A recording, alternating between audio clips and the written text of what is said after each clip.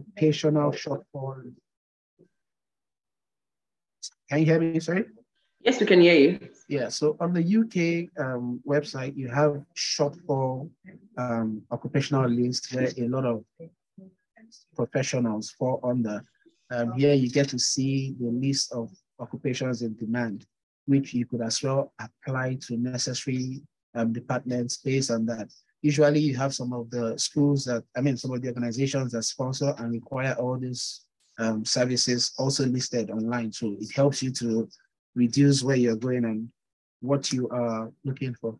And then there's a last one, which is not so um, out of place because after your school visa, you are automatically um, allowed to also be an investor or change to whatever business you like.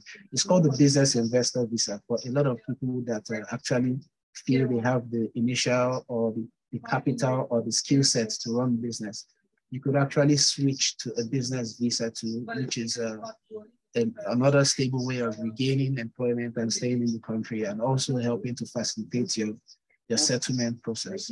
I hope I was able to add a few on that. Thank you. Thank you so much. That was so, you gave a lot of information and uh, yeah, thank you so much. We do appreciate that. Uh, okay. Um, I was on a question. I don't know if you can actually answer that so as well. I was asking next in what um, capacity the Kampus Group can help in all of this. Okay. Now for Kampus Group, we um, uh, we employ students as ambassadors as it is right now, which were um, after school they can grow to become our own workers, partners, and whatever they want to become in franchises. And we also help with job placements into key industries based on their skill sets, IT, human relations, engineering, medical line. We have a network of people that we refer students to. So um, obviously the capacity and the numbers in Nigeria is quite a lot. So we cannot say that we can cover everybody. Yeah. That, would, that would be obviously a lie. Um, in our own little way, we help students settle while they're in school and after school in these little placements. So that's what we do in our own little capacity. Um, I don't know if I answered you very well or there's a part you want me to say. Yes, sir. Okay. Yeah. Uh, Issy, are you trying to say something? Oh, sorry. I said he answered the question. yeah, well. he actually answered yeah. the question. Okay. Yes. Yeah. Thank you. That's, that's, Let that's, me on you. All right. Yeah, it seems more clearer. Thank you so much. Um, okay, uh, and next question is um, in reciprocation, how can uh, I, as the applicant, you know, be helpful to the objectives of Kampus Group?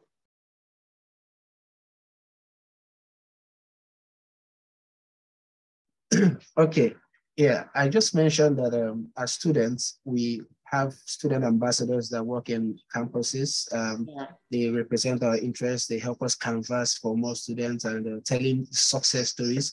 Because obviously, if you are not satisfied, I don't think there's a way you can sell the brand, which is Kampus Group. Yeah. Uh, so we engage these students. It's a, a form of them learning on the job, them becoming more professionals, and also earning.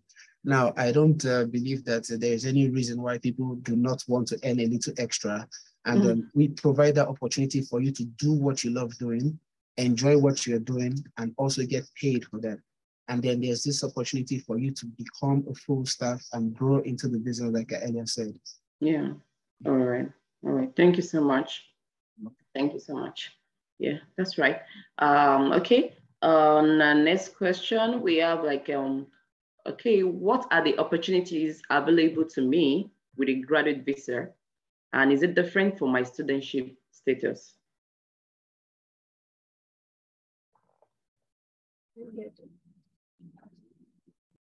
Um, can you repeat the question again? Okay, the question asks this, um, what are the opportunities available to me with a graduate visa? And is this, I mean, are these opportunities, is it different from my studentship status? now, um, first of all, your student visa, if you check the offer letter, is supposed to be a 10 years route to have settlement in the UK. Am I correct? It's yeah, right. yeah. So your first, your you, the first visa, which is the student one, the tier four one, covers you for give or take 16 months to two years, right? Yeah. yeah some people have 16 months, some people have 24 months. Then you are entitled to a post-study work visa, which gives you another two years to gain experience on the field that you have chosen. Now, the graduate route helps you become a master in the field that you have studied. You know, um, it, it, it helps you perfect that skill set that you have um, tried to, um, how, how do I put it, cultivate the, your passion. It helps you drive that passion. And it also helps you get into the industry which you want to get into. Now, the thing is, a lot of people go, they, they sidetrack based on the fact that, yes, we all know how the, the UK is. People want to do whatever job is available to make a living. Uh, but your graduate visa can help you when you study on your course so that you can actually be retained and employed on that same course. Mm. I don't know if you can still hear me. Yes, I can hear you. Yeah, yeah like um, we are all, like, well, mainly Nigerians here and Africans. Uh, and somehow want to go for the one that earns the most, which might not necessarily mean the one that you study. Yeah. Going for what you study and what you learn is actually the best way to get a job on your line. Because don't forget, it adds to your employment history, it adds to your yeah. um, it adds to your experience, it adds to your exposure, to your comfortability dealing with those issues. Um, just just imagine like you're you're studying, for instance, now you're studying accounting and you're doing um, maybe your sales assistant and um, um, which one should I call now? Sports direct and all that. If you want to apply to my firm as an accounting firm and I see that you don't have any experience, just a practical experience, it reduces my interest in you. I don't know if you understand me. Yeah, that's true. So being experienced and working in your line helps you to be employable in that graduate field. Thank you. Thank you so much. I hope we do all understand. I actually got his points right. No, please, they should ask questions if they don't yes. understand. And if I'm not very audible, please let me know too. We can definitely hear you loud and clear. Yeah. Um, all right. Thank you so much for that answer. And uh, okay, the next question is um, how can I maximize these opportunities? You know, the opportunities stated out in the previous question, so uh, it was asked by someone. So the question he asked was the one you just answered now, which are the opportunities available to me with a graduate visa and how is different from the studentship status, which you just answered. So now uh, the same person is asking like, how can these opportunities can be maximized?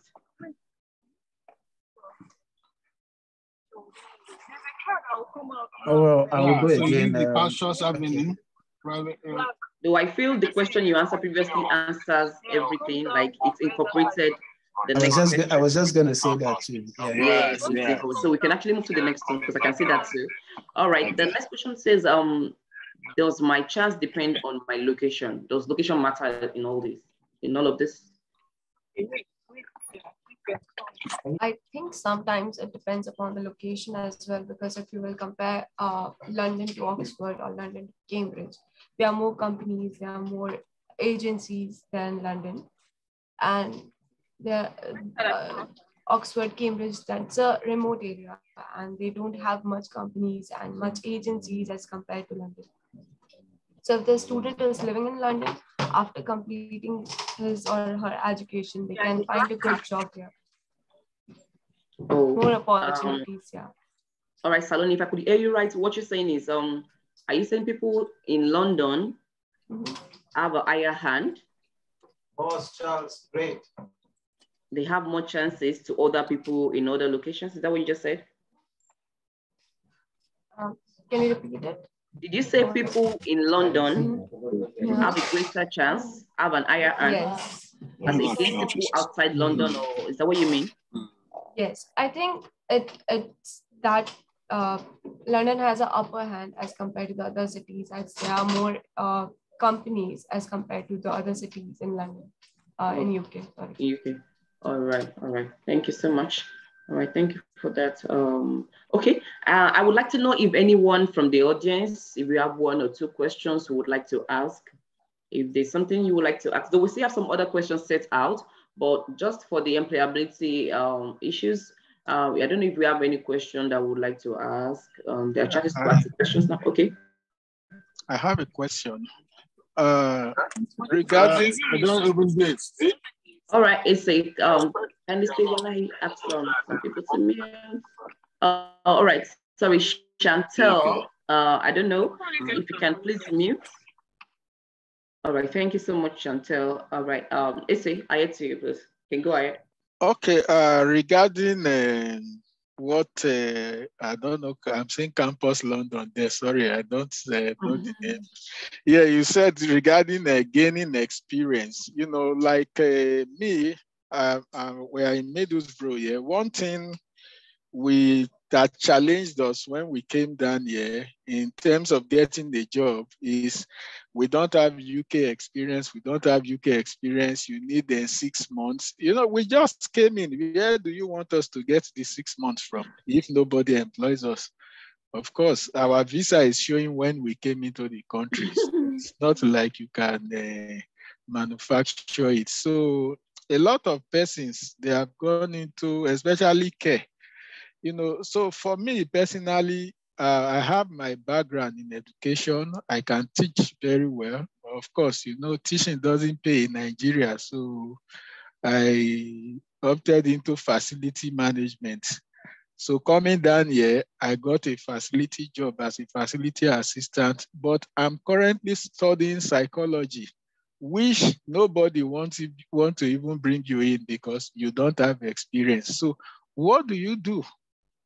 Because the challenge is here. You are willing, but this is the roadblock. So how do you not gain this experience? Because we need this job to support our studies. Well, um, I it's Atuma, right? Yes, Atuma. Okay, my name is Charles. You can leave the Kampus London there. All right, Charles. Thank you. okay, I understand you very well, and um, your situation is the same thing with over a million immigrants in this country from anywhere in the world. Um, when you come into the UK, you are definitely starting from ground zero because um, it's it's a fresh entry and you need to get experience. And most of the first jobs you get are actually what we call the immigrant jobs, which helps you pay the bills and move your daily life. They are, they are actually not a career job. Now, you studied psychology and you have a passion for facility management and you have no, it's not sorry it's not passion i i have the experience as a facility yeah. manager back in nigeria yeah. now from where you are now you probably there is lesser chances for the psychology employment as against yes. facility management am i correct so what